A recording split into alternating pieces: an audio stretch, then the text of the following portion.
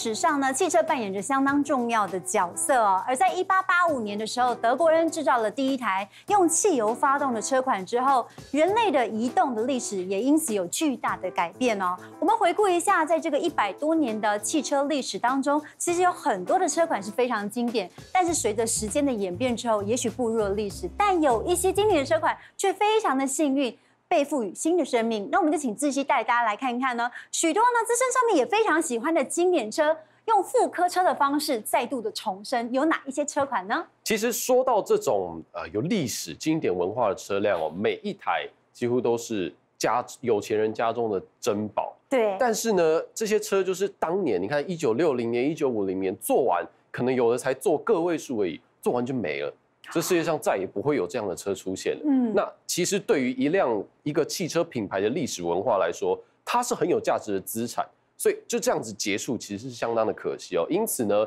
我们还会发现近年哦，其实大概从两千年开始，慢慢就是有一些历史比较宏远的一些品牌开始做所谓的经典车复刻。那怎么个复刻法呢？大概都是我比照以往的生产流程，甚至我把以前已经变成博物馆的。这一某一台车的工厂，把它重新的动工，哦，开始一样老师傅开始敲敲打打的做，但是我做了，我用很多新的品牌科技，比如说更好的刹车效能，能够呃比较抗腐蚀生锈的烤漆的工法等等，来把这样的车重新做出来。当然造价也是天价的天文数字哦。那我们看到这三台其实是。近年近代历史最有名的三款复刻车，分别是 Aston Martin 的 DB4 GT、GT Continuation，还有 Jaguar，还有保时捷。我们先来看这个马丁哦，其实 DB4 GT 呢，算是 DB4 车系的一个呃赛车版本。那它当年也是为了在利曼上面做抗争，那也拿下了年度的总冠军哦。所以这一台车呢，对于这个品牌的赛车文化来说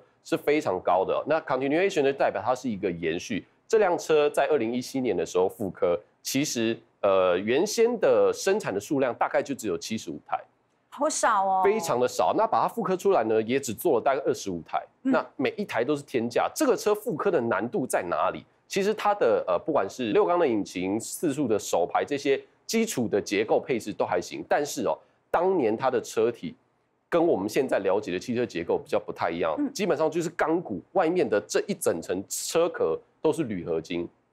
意思就是呢，你做出来之后，它没有那种所谓的板件什么冲压技术，所以做出来就是就是一群老师傅在那边敲敲打打，用手工打造的。对，很像我们看那种那个历史频道，就做那些老车的那个手法，那敲敲打打，把呃车台弄得刮得漂亮啊完整，送去烤漆。当然，就像刚刚讲的，它的烤漆的工法可能是先进的，把这样的一个艺术品重新的诞生之后再拿出来，那基本上拍卖都是。可能四五千万台币以上的天价，当然对于这个品牌来说呢，它的跑车文化还有赛道历史是一个最经典的传承哦。那 Jaguar 的部分呢，可能大家比较熟知的可能是被誉为地表最美跑车的 E Type，但是其实 D Type 算是他们赛车文化的一个起源的开端，因为同样也是来自于利曼大赛啊。那 XKSS 这台车非常的特别，它跟 D Type 有一些些不同，因为它算是一个道路版的赛车，把工厂赛车量产化，嗯，做出来，但是呢，这个故事非常有趣，可以拍成电影哦。当年总共只有做九台的 XKSS，数量更稀少，比较深。而且注意哦，这个车快要做出来、快要发表的时候，工厂失火，这九台胎死腹中，嗯，就就此被历史的洪流淹没了。直到近代，Jaguar 才决定，我们是不是应该把这么经典的车再拿出来做一下？嗯所以一样跟马丁一样的做法。老师傅老的技法，然后把呃新的一些技术、刹车效能等等，同样的做出来。那它跟 D Type 相比呢，主要是挡风玻璃的部分啦，一些基础的结构，还有车门有一些些的不同。呃，有一点点类似，我们现在看到很多超跑品牌也是把赛车稍微做一点延伸的改装，或是像是 AMG 的 Project One 这种概念做出来，只是它是六七十年前的一个文物产品。重新的诞生，相当的有意义哦。那最后我们看到保时捷的九九三，这个九一一的九九三的车型呢，算是呃，它其实严格说起来，对它不到老车了，但是非常的经典。为什么它是最后一代气冷的保时捷九一一？而且呢，现在中古市场的交易数字基本上也是天价，即已经快要接近一台全新的九九二的保时捷九一一了。金额非常的高。那这个东西呢叫做 Project Gold。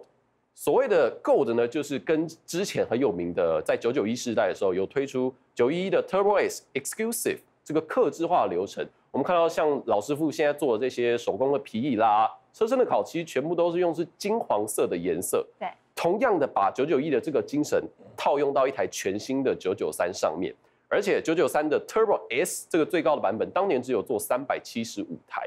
它这一台是第三百七十六台。在去年的时候诞生，所有的功法比照保时捷刻制化的部门，唯一的不同就是它用了很多像画面上看到的这种碳纤维的部件了。嗯，这个是唯一可以做出区别的哦。啊，你看这两台车就有一个先后历史传承的概念，而它最大的重点是它的引擎效性能用了最好的水平对过六缸的涡轮增压，已经来到四百五十匹了。搭配六速手排，比现在很多新的跑车都还要强悍，非常的多。对，这个东西没有两台前前面两台老，可是对于喜爱这种跑车文化，特别是爱保时捷的车迷朋友来说，它是绝对以后对以后来说也是非常重要的一个历史定位。嗯，刚才这些有聊到啊，就是 Jaguar 呢将 XK SS 呢这一款经典车款呢。呃，赋予它全新的生命之后呢，再度的在全球车迷的眼前亮相了。当然呢，呃，我们之前啊，其实冠仪跟爱大有去过英国的 Jaguar Land Rover 经典车的修复部门。当我们踏进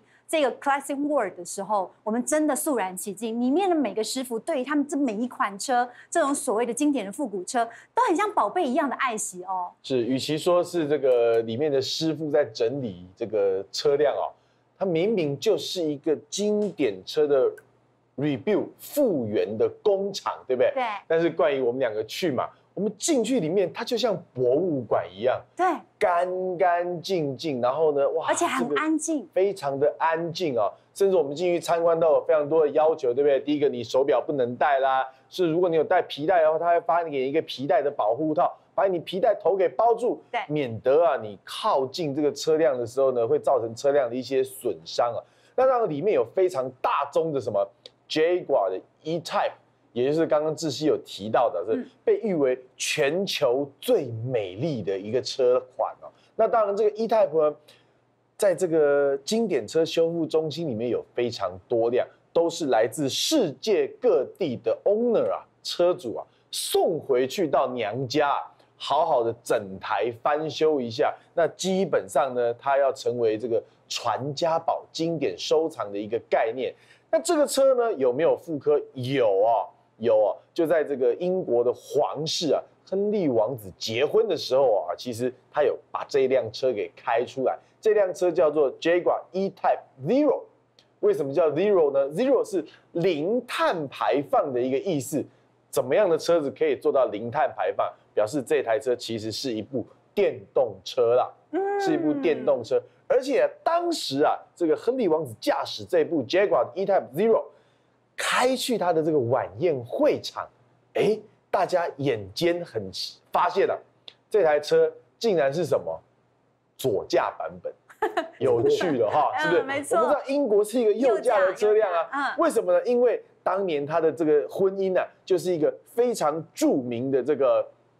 英美联姻的一个状况哦，有趣的哦。所以我们的哈利王子开的这个车子呢，在去他晚宴的过程里面呢，就驾驶是这一台电动车。那当时呢，这个电动车也有说啦，要在二零二零年的夏天开始来去做销售，而且这不只是单纯的复刻而已哦，因为这台车复刻是完完全全比照原版的车子来去做打造，除了啊。它的灯具啊，换上了比较新时代的 LED 的这些光源啦，甚至它的中控台的部分跟传统的比较不太一样，因为因应电动车的一个设计嘛。那当然，它也希望维持整个车子的一个这个呃传统，所以这台车啊，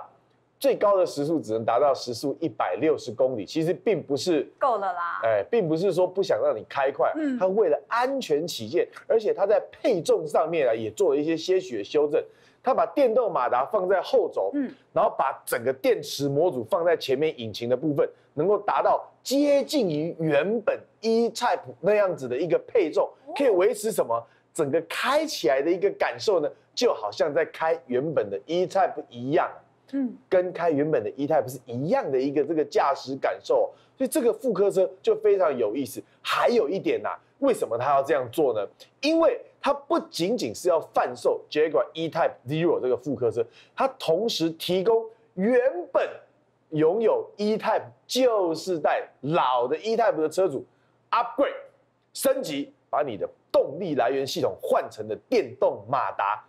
但外壳还是维持，外壳还是你原本的那一个外壳，这是一个非常特别、非常特别的一个上市计划。那当然呢，讲到它什么时候上市，二零二零年夏天，哎，好像就是现在嘛，是不是？结果不过最近呢，就有消息已经传出来，但不知道是因为市场的反应度没有到这么样的一个热热烈的程度呢，还是说因为疫情啊，或者种种关系啊，反正呢，Jaguar 发出了一封信，告诉你们说，哦，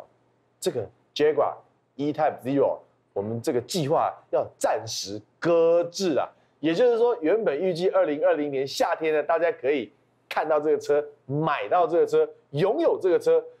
呃，基本上现在呢是打一个叉叉。还有一点呢，因为我觉得这个计划里面非常有趣的一个点，就是说，你老的 E Type 可以换上